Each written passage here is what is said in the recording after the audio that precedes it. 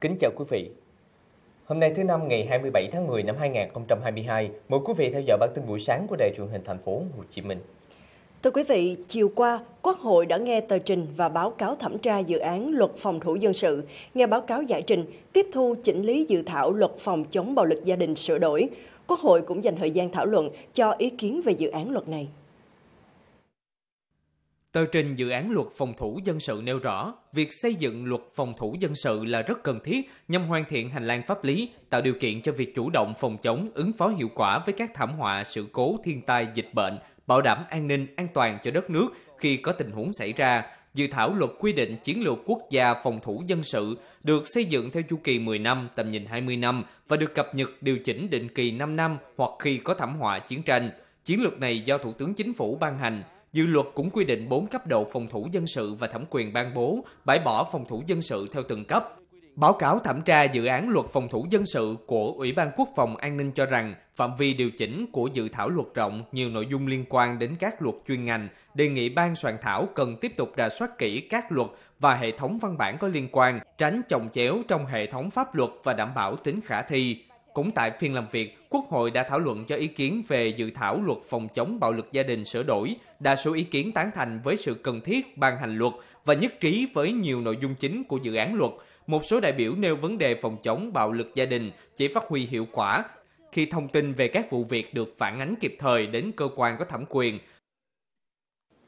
Tôi nghĩ rằng cần quy định trách nhiệm của người bị bạo lực gia đình và thành viên gia đình báo tin cho cơ quan tổ chức người có thẩm quyền khi có hành vi bạo lực gia đình. Tài khoản 2 điều 9 và điều 11 thì chưa quy định rõ trách nhiệm này. Liên quan đến quy định yêu cầu người bị bạo lực gia đình đến trụ sở công an xã để làm rõ thông tin, giải quyết hoặc xử lý vụ việc tại điều 24 của dự luật, đại biểu cho rằng so với luật hiện hành thì đây là biện pháp mới được bổ sung, góp phần nâng cao trách nhiệm của chính quyền, nhất là cơ quan công an, cần phải can thiệp giải quyết kịp thời các hành vi bạo lực gia đình. Tuy nhiên, cần phải quy định thật thận trọng. Ờ, việc cơ quan công an yêu cầu người bị bạo lực gia đình đến trụ sở cơ quan công an trong cái thời gian là 6 giờ cho mỗi lần, cũng không giới hạn số lần, là cái biện pháp mà nó có tính chất tương tự biện pháp tạm giữ hành chính của luật xử lý vi phạm hành chính và thậm chí là còn vượt trên cả biện pháp tạm giữ hành chính. Trong khi đó, đối với biện pháp tạm giữ hành chính ấy, thì luật xử lý vi phạm hành chính đã có quy định rất là chặt chẽ. Tôi cho rằng những vấn đề nêu trên chúng ta phải quy định rất thận trọng, nhất là trong điều kiện chúng ta đang đề cao việc xây dựng nhà nước pháp quyền.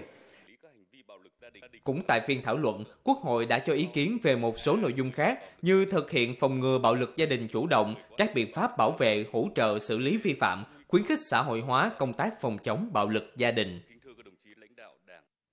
Tiếp tục chương trình kỳ họp thứ tư dự kiến hôm nay, Quốc hội thảo luận về các nội dung kết quả thực hiện kế hoạch phát triển kinh tế xã hội năm 2022, dự kiến kế hoạch phát triển kinh tế xã hội năm 2023, tình hình thực hiện ngân sách nhà nước năm 2022, dự toán ngân sách nhà nước, kế hoạch đầu tư công vốn ngân sách nhà nước, phương án phân bổ ngân sách trung ương năm 2023, trong đó có kế hoạch tài chính ngân sách nhà nước từ năm 2023 đến năm 2025, tình hình thực hiện kế hoạch tài chính năm 2022, dự kiến kế hoạch tài chính năm 2023 của các quỹ tài chính nhà nước ngoài ngân sách trung ương quản lý. Sau các thảo luận trên, thành viên chính phủ sẽ phát biểu giải trình, làm rõ một số vấn đề đại biểu Quốc hội nêu. Thưa quý vị, tính đến tháng 9 năm 2022, các chỉ tiêu về thu bảo hiểm xã hội, bảo hiểm y tế, bảo hiểm thất nghiệp, độ bao phủ người tham gia cơ bản tăng so với cùng kỳ và thời điểm tháng 12 năm 2021.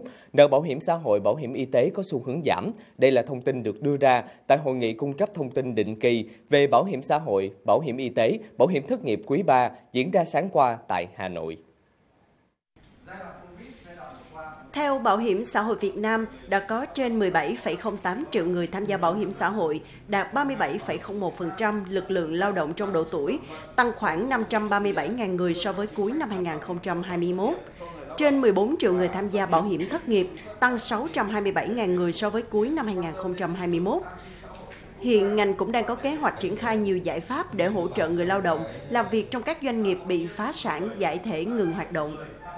Chúng tôi đã có văn bản gửi Bộ Lao động Thương binh Xã hội đề xuất là đối với người lao động ở cái những cái đơn vị phá sản này thì uh, thì được giải quyết các cái chế độ ốm đau thai sản tai nạn lao động bệnh nghề nghiệp các chế độ ngắn hạn và kể cả chế độ dài hạn hưu trí. Nếu như mà có quá trình tham gia mà đã đóng thực đã đủ điều kiện để giải quyết. Và sau này nếu mà truy thu được thì sẽ cộng nối và điều chỉnh cái quyền lợi cho người ta. Liên quan đến tình trạng thiếu thuốc, vật tư y tế tại một số địa phương, cơ sở y tế đại diện Bảo hiểm xã hội Việt Nam cho biết, một trong những nguyên nhân của tình trạng này là do chậm đấu thầu cung cấp thuốc, thiết bị, vật tư. Việc bệnh nhân phải tự mua thuốc, vật tư là ngoài ý muốn, có thể gặp phải nhiều rủi ro về giá thuốc, chất lượng thuốc, thủ tục hoàn tiền cho người bệnh cũng phải qua nhiều bước. Và khi mà Bộ Y tế có hướng dẫn đối với cái việc chi trả này thì chúng tôi sẽ có cái hướng dẫn bệnh nhân à, cái thủ tục từ cái việc à, hóa đơn chứng từ như thế nào cho nó đầy đủ. Cái thứ hai nữa là cái tiếp nhận ở đến đâu để nộp cái hồ sơ chứng từ đó. Và cái thời hạn để thanh toán thì trong cái quy định cũng đã có rồi thì chúng tôi ờ, sẽ hướng dẫn cụ thể cái việc đó. Hiện nay, Bảo hiểm xã hội Việt Nam đã chủ động xây dựng phương án kỹ thuật để có thể chia sẻ dữ liệu thuộc phạm vi của Nghị định số 43 quy định về việc xây dựng, quản lý, khai thác và sử dụng cơ sở dữ liệu quốc gia về bảo hiểm để xây dựng sổ sức khỏe điện tử theo hướng dẫn của Bộ Công an và Bộ Y tế. Chỉ trong vòng một tháng qua, Ngân hàng Nhà nước đã có hai lần nâng lãi suất, ở lần gần nhất cách đây 2 ngày, lãi suất tái cấp vốn từ 5% một năm lên 6% một năm, lãi suất tái chiết khấu từ 3,5% một năm lên 4,5% một năm, lãi suất cho vay qua đêm trong thanh toán điện tử liên ngân hàng từ 6% một năm lên 7% một năm. Mức tăng 1% sẽ có tác động nhất định đến nguồn vốn dự trữ của sản xuất cuối năm, nhất là những doanh nghiệp trong nhóm hàng thiết yếu, hàng bình ổn thị trường. Trong bối cảnh biến động nguồn cung thì cần tăng dự trữ nguyên liệu cho mùa Tết, nhu cầu vốn tại các doanh nghiệp đang rất lớn. Gần 11.000 điểm bán hàng bình ổn thị trường, tổng doanh thu năm 2022 ước đạt gần 22.400 tỷ đồng. Từ điểm xuất phát phải giao vốn cho doanh nghiệp mua hàng dự trữ cho Tết Nguyên đáng, đến nay 69 doanh nghiệp tham gia chương trình bình ổn thị trường đã có thể tự chủ nguồn tài chính và kế hoạch sản xuất. Riêng về vấn đề dự trữ hàng cho dịp Tết, cái xăng dự kiến là khoảng hơn 700 tỷ đồng. Thì nguồn tiền này chủ lực là do nguồn vốn tự có của xăng. Cho nên chính chỗ này là rất ổn định về cái chuyện giá cả và số lượng trong thời gian tới. Thành quả lớn nhưng khó khăn vẫn bủa vây bởi biến động thị trường và lãi suất ngân hàng. Đối với ngân hàng nông nghiệp thì cũng cho chúng tôi vay với cái mức trung dài hạn và rất là tốt nhưng mà không phải là à, để dự trữ được một cái lượng hàng quá lớn được. Riêng về cái ngành mì của tôi thì bột mì đã tăng lên hơn 20%. Cái nhu cầu tiền vốn, chi phí vốn rất lớn. Do cái đột biến cái tình hình nguyên vật liệu của thị trường tăng giá thì cái vốn lưu động sản xuất phải cần nhiều hơn của những năm trước nhưng mà khi cần nhiều hơn như thế thì hiện nay là cái thanh khoản của ngân hàng không có. Trong bối cảnh này, Ngân hàng Nhà nước chi nhánh thành phố Hồ Chí Minh đã ra công văn yêu cầu hệ thống ngân hàng thương mại ưu tiên nguồn vốn cho các doanh nghiệp bình ổn thị trường đưa vào hoạt động sản xuất. Năm 2022, hệ thống ngân hàng nhà nước và các ngân hàng thương mại đã chuẩn bị từ 1.600 đến 7.000 tỷ đồng vốn lưu động dành cho sản xuất. Hiện nhiều doanh nghiệp đang vay ưu đãi với lãi suất từ 3,5 đến 4%. Không phải hỗ trợ theo cái nghĩa là chúng ta à, bơm vốn vào hay là chúng ta cho hỗ trợ tài chính một cách trực tiếp vì cái chuyện đó là nó không phù hợp với nền kinh tế thị trường. Cái chúng ta mà có thể hỗ trợ vốn đây là hỗ trợ theo những cái chính sách đặc thù, những cái chính sách mà nó mang tính chất là có định hướng. Điểm nổi bật, điểm nhấn và nó trở thành cái thương hiệu của ngành ngân hàng ấy, đó là à, cho vay các doanh nghiệp này với lãi suất thấp, ờ, thường là thấp hơn ờ, mặt bằng chung từ 1 đến 2%. Ờ, chính cái lãi suất ừ, thấp đã hỗ trợ cho doanh nghiệp bình ổn giảm cái giá thành, giảm chi phí và giữ ổn định được cái giá bán. Mức thấp nhất hiện nay là ở mức là 4,5% cho đến ờ, 6,5%. Có thể thấy bình ổn thị trường không chỉ cho thành phố Hồ Chí Minh mà còn ổn định chuỗi sản xuất tiêu thụ của cả vùng kinh tế trọng điểm phía Nam.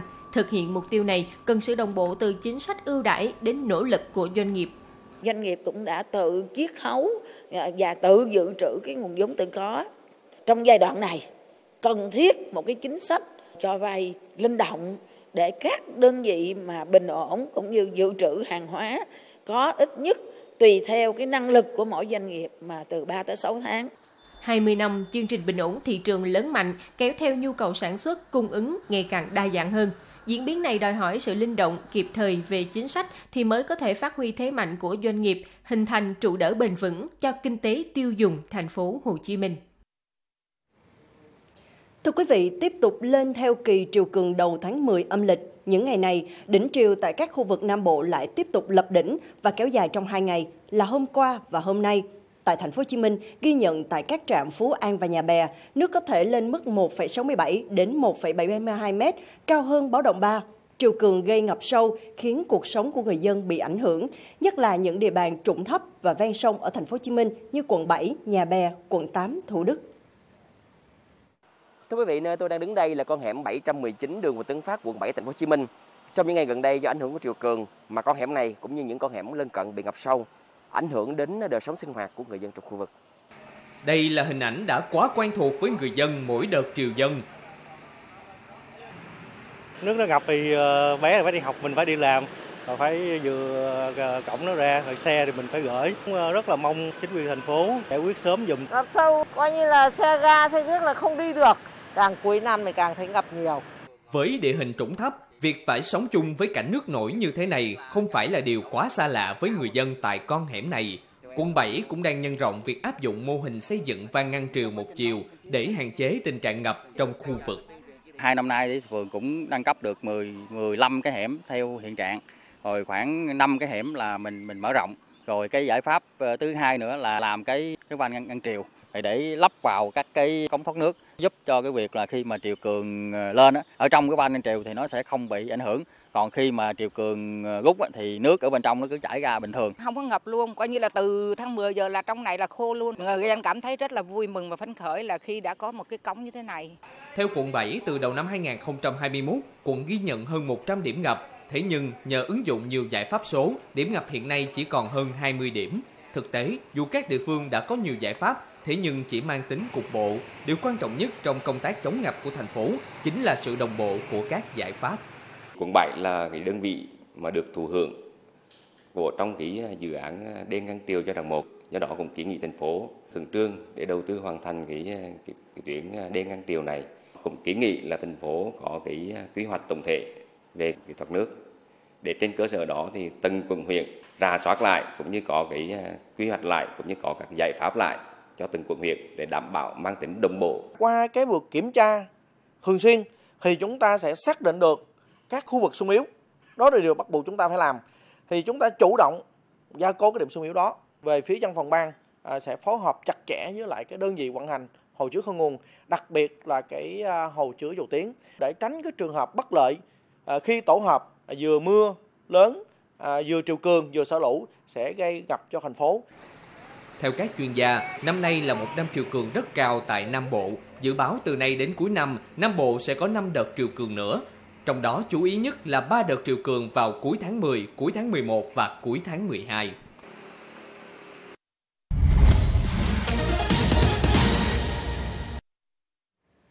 Chuyển sang tin thế giới, Tổng thống Nga Vladimir Putin trong ngày hôm qua theo giờ địa phương đã có mặt theo dõi cuộc tập trận của lực lượng hạt nhân chiến lược của nước này.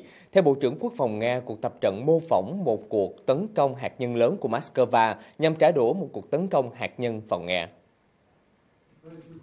Các cuộc diễn tập phóng thử tên lửa đạn đạo và tên lửa hành trình diễn ra sau lời cảnh báo của Tổng thống Putin về việc ông sẵn sàng sử dụng mọi phương tiện sẵn có để chống lại các cuộc tấn công vào lãnh thổ của Nga.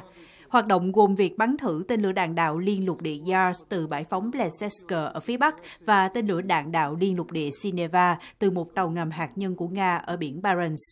Trong khuôn khổ cuộc tập trận, máy bay ném bom chiến lược Tu-95 cũng phóng tên lửa hành trình vào các mục tiêu thực hành. Điện Kremlin cho biết tất cả nhiệm vụ đặt ra cho cuộc tập trận đã được hoàn thành và tất cả tên lửa bắn thử đều đạt mục tiêu được chỉ định.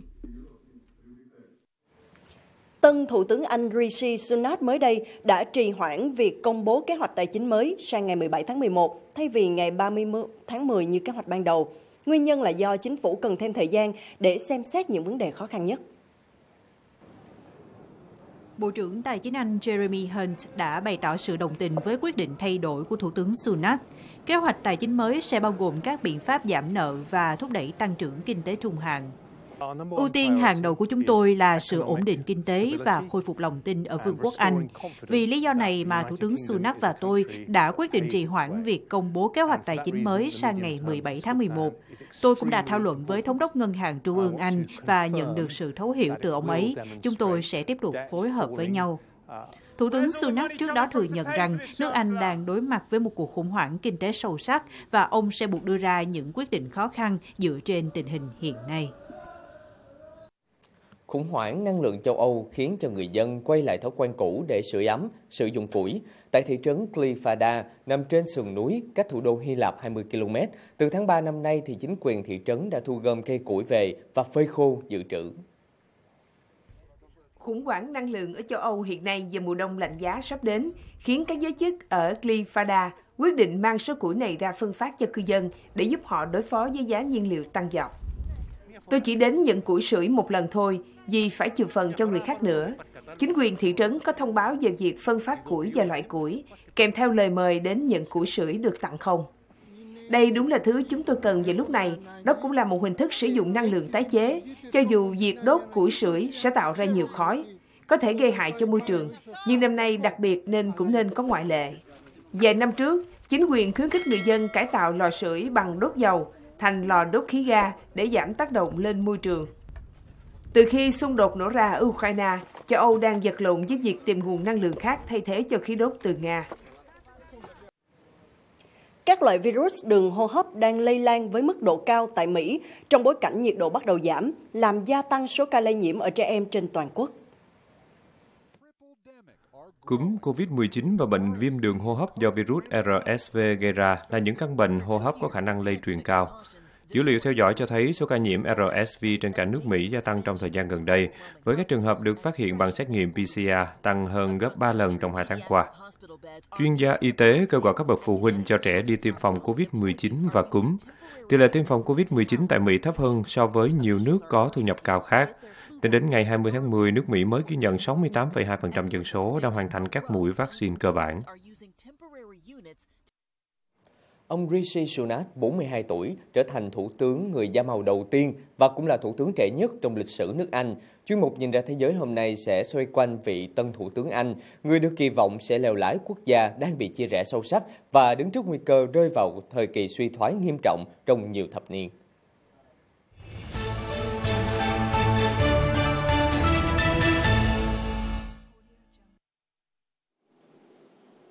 Thưa vị ông Rishi Sunak đối mặt với những thách thức lớn trong việc lèo lái nước Anh đi qua khủng hoảng kinh tế và cả bất ổn chính trị. Ngay sau khi nhậm chức, tân Thủ tướng Anh đã bổ nhiệm danh sách thành viên nội các. Tân Thủ tướng Rishi Sunak kiện toàn nhân sự nội các mới của Anh. Đáng chú ý, ông Jeremy Hunt vẫn đảm nhiệm vai trò Bộ trưởng Tài chính trong chính phủ mới. Ông Hunt cũng là người đầu tiên được ông Sunak bổ nhiệm. Vị trí ngoại trưởng vẫn thuộc về ông James Cleverly, trong khi ông Ben Wallace tiếp tục tại vị ở ghế Bộ trưởng Quốc phòng. Ông Dominic Raab trở lại vị trí Phó Thủ tướng kiêm Bộ trưởng Tư pháp, vai trò mà ông đã đảm nhiệm dưới thời Thủ tướng Boris Johnson. Chỉ một tuần sau khi từ chức, bà Suella Braverman đã được bổ nhiệm lại làm Bộ trưởng Nội vụ. Còn ông Grant Shapps làm Bộ trưởng Kinh doanh, Năng lượng và Công nghiệp của Anh. Đối thủ cũ của ông Rishi Sunak trong cuộc đua vào vị trí lãnh đạo đảng, bà Penny Mordaunt giữ vị trí lãnh đạo Hạ viện. Kết quả một cuộc thăm dò được báo The Independent công bố ngày 25 tháng 10 cho thấy 61% cử tri Anh được hỏi cho rằng Thủ tướng mới cần giành được quyền lực bằng cách yêu cầu một cuộc tổng tuyển cử ngay lập tức. Đã có hơn 430.000 người ký vào bản kiến nghị đề xuất một cuộc tổng tuyển cử sớm do The Independent khởi xướng. Một cuộc thăm dò khác do công ty nghiên cứu thị trường Savanta thực hiện cũng cho thấy khoảng 52% người được hỏi đã cho biết họ không chấp nhận một thủ tướng chỉ được lựa chọn bởi các nghị sĩ đảng bảo thủ cầm quyền. Tuy vậy, vẫn có một bộ phận người dân Anh cho rằng ông Rishi Sunak giữ chức thủ tướng là một bước đi đúng đắn cho nước Anh ở thời điểm hiện tại. Theo tôi quan sát những người tôi biết, họ thường không chọn ứng viên mà họ yêu thích. Thay vào đó, họ bầu chọn cho ứng viên ít tệ nhất. Vì vậy, tôi không chắc một cuộc tổng tuyển cử sẽ mang lại cho chúng tôi điều gì hơn những gì chúng tôi đã có. Tôi nghĩ lúc này đây, một cuộc bầu cử khác sẽ còn gây ra nhiều bất ổn hơn. Tôi nghĩ hãy để mọi thứ lắng xuống trong hai năm nữa. Trái với những phản ứng khác nhau ở trong nước, tại Ấn Độ, quê gốc của vị tân thủ tướng Anh, người dân thể hiện sự tự hào. Là một người Ấn Độ, tôi cũng cảm thấy một chút tự hào. Tôi thích ông ấy. Tôi nghĩ ông ấy sẽ giúp cho nền kinh tế Anh giật dậy. Quyền lực chính trị của cộng đồng người gốc Ấn ngày càng được trông thấy rõ hơn trước đây. Rõ ràng là hiện giờ, cộng đồng người Ấn đang chuyển ảnh hưởng kinh tế truyền thống thành ảnh hưởng chính trị. Thủ tướng Ấn Độ Narendra Modi gửi lời chúc mừng và bày tỏ mong muốn hợp tác chặt chẽ với nhà lãnh đạo Anh trong các vấn đề toàn cầu và trong triển khai lộ trình hợp tác đến năm 2030. Tuy nhiên, các nhà phân tích cũng cho rằng sự kiện này không chắc sẽ cải thiện các quan hệ giữa Ấn Độ và Anh, nhất là về thỏa thuận mậu dịch tự do sắp được đôi bên ký kết, cũng như góp phần cải thiện nhiều hồ sơ, trong đó có việc tạo điều kiện cho người nhập cư theo cả hai chiều.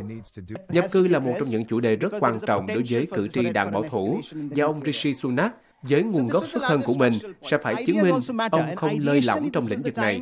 Chính vì thế, ông sẽ gặp nhiều khó khăn hơn so với những người tiền nhiệm Boris Johnson và Liz Truss khi ký kết thỏa thuận này với Ấn Độ. Tại lục địa già, các lãnh đạo Liên minh châu Âu cũng gửi lời chúc mừng ông Sunak, nhưng không quên nhấn mạnh ổn định là điều cần thiết để Brussels và London cùng đương đầu với những thách thức chung. Chủ tịch Hội đồng châu Âu Charles Michel khẳng định cùng hợp tác là cách duy nhất để hai bên cùng đương đầu với các thách thức chung và ổn định là chìa khóa để vượt qua các thách thức. Còn Chủ tịch Nghị viện châu Âu Roberta Metsola nhấn mạnh, cơ quan lập pháp EU theo đuổi mối quan hệ vững chắc và mang tính xây dựng với Anh, đồng thời nêu rõ EU và Anh vẫn cùng chung các lợi ích cốt lõi theo ông, vào thời điểm nhiều thách thức như hiện nay, châu Âu cần sự ổn định về chính trị và kinh tế. Giới quan sát cho rằng, việc cả hai quan chức EU đều đề cập đến từ ổn định cho thấy EU hy vọng ông Sunak sẽ có quan điểm bớt cứng rắn với Bruxelles hơn so với những người tiền nhiệm là Boris Johnson và Liz Truss. Trong khi đó, tại Nhà Trắng, Tổng thống Mỹ Joe Biden thể hiện sự ủng hộ dành cho vị thủ tướng trẻ nhất nước Anh. Ông Rishi Sunak trở thành Thủ tướng Anh là một điều tuyệt vời. Đây là một cột mốc vô cùng quan trọng của Dương quốc Anh và nó thực sự có sức ảnh hưởng.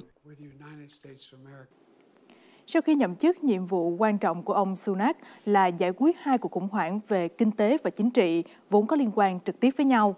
Mặc dù sự xuất hiện của ông Sunak cũng phần nào trấn an được các nhà đầu tư về việc nước Anh đã có một người lãnh đạo có tầm nhìn kinh tế, nhưng nếu không thể giải quyết các mâu thuẫn chính trị, thì bất kỳ biện pháp kinh tế nào được chính phủ của ông đưa ra cũng có thể bị phản đối. Các chuyên gia dự đoán, việc đầu tiên sau khi ông Sunak đến số 10 phố Downing sẽ là thực hiện cắt giảm mạnh chi tiêu công, bất kể việc nước Anh rơi vào suy thoái kinh tế. Động thái này sẽ kéo theo giá năng lượng và thực phẩm tăng mạnh. Và nhiệm vụ cấp thiết thứ hai dành cho ông Sunak là hàn gắn nội bộ đảng bảo thủ cầm quyền. Mặc dù ông Sunak nhận được sự ủng hộ từ nhiều phe phái trong đảng bảo thủ, giới chuyên gia vẫn thể hiện sự nghi ngờ liệu ông có đủ khả năng gắn kết các thành viên trong đảng hay không. Bản thân cựu Thủ tướng Boris Johnson cũng đau đầu với nhiệm vụ này và đây cũng chính là lý do ông rút lui khỏi cuộc đua lần này. Dù ban đầu được cho là ứng viên sáng giá nhất, cựu Thủ tướng Johnson cho biết bản thân không đủ khả năng để hàn gắn những bất đồng đang làm chia rẽ đảng bảo thủ với nhiệm vụ lớn hơn, dài hơi hơn nữa là giúp đảng bảo thủ lấy lại vị thế và hình ảnh để không bị công đảng vượt mặt trong cuộc tổng tuyển cử vào năm 2024. Với kế hoạch kiểm soát người nhập cư, ông Sunak cũng từng cho biết, ông tự hào xuất thân từ một gia đình nhập cư, nhưng ông tin rằng anh phải kiểm soát biên giới và sẽ giữ lại kế hoạch trục xuất những người xin tị nạn đến Rwanda. Ông cũng từ chối loại trừ việc Anh rút khỏi tòa án nhân quyền châu Âu. Thủ tướng Anh Rishi Sunak thừa nhận rằng Vương quốc Anh đang phải đối mặt với thách thức kinh tế toàn diện và cần có sự ổn định thống nhất về mặt chính trị.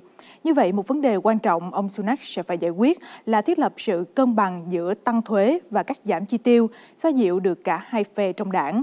Sau đó, chương trình kinh tế sắp tới của ông cũng phải cho thấy hiệu quả trên thị trường để xoa dịu chỉ trích từ công chúng và các đảng đối lập. Đến đây thì thời lượng cho chuyên mục Nhìn ra thế giới đã hết. Cảm ơn quý vị đã quan tâm theo dõi.